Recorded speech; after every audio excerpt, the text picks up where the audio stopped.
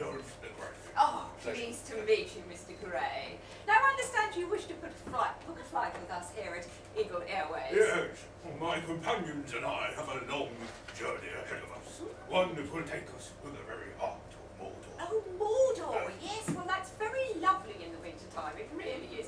You and your companions have chosen a wonderful place for our holiday. We are not going on a holiday.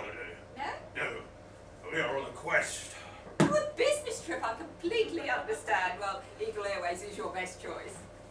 Yes, well, that's what I told my companions. You see, they all wanted to go on foot, but I had to put my foot down after all. One does not simply walk into Mordor.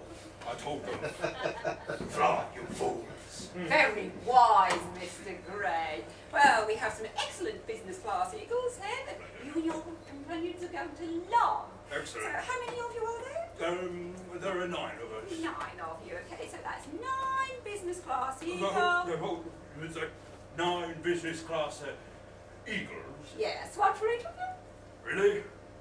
Actually, I thought we could all just um, clamber onto the one. They might be giant eagles, Mr. Grey, but they're really not that giant, no. It's one for each of you, I'm afraid. And the eagles will have a little bit of trouble with all the luggage, so you might be restricted on that too. There are far too many restrictions. How Middle Earth do you expect us to defeat Mordor if our hands are tied? Yes, well, I'd rather heard that you were an expert on restrictions, Mr. Grey. Jamie, his sketch is taking a shade darker than I expected. Right, yes, and how, uh, how much will it be costing? Uh, well, they're 800 pieces of silver each. 800 pieces of silver each. Yes. What do you think I am, some sort of millionaire? May I remind you, Mr. Grey, that um, Eagle Airways is the cheapest provider of giant eagle air travel. You are the only provider of the giant eagle air travel. Yes, yes, that is true, isn't it? Well, then you don't have any choice then, do you, but to submit to our terms and conditions and pay the 800 pieces of silver, or you can walk. But may I remind you that Middle Earth does have some rather rough areas, not at all tourist friendly. No, one of you might even die. No, I don't think so. Just cast one of my spells of protection. Oh, Uh, what do you mean? uh, I know plenty of uh, safety words, my dear.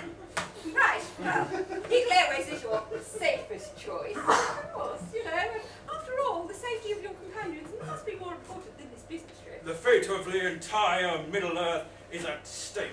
Yes. Just put my hat up, shall I? Uh, hood, no, rather. You can't put a price on the world's safety now, can you? No, but you have. Yes. So, do you want the Eagles or not? Uh, fine. Excellent! There, that wasn't debatable, now was it? Oh, I must just remind you that there are some rather strict customs regulations for Mordor. Yes, yes, and they are. Yes, visitors to Mordor are not allowed to take liquids, technology, or jewellery into the country with them. Mm, What was that?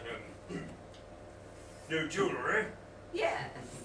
Their ruler was in the jewellery business, and from what I understand, he got ripped off and had half his jewellery stolen. Left rather sour. So, if you're intending to take jewellery with you, then I'm afraid you shall not pass. Into the country, that is. I see. Right. Perhaps I can get back to you on the eagles then. Certainly. I'll be just over here. Gandalf, Ah, Gandalf, Frodo. did you manage to get our tickets yet? About that, Frodo. I'm afraid we won't be able to take the eagles.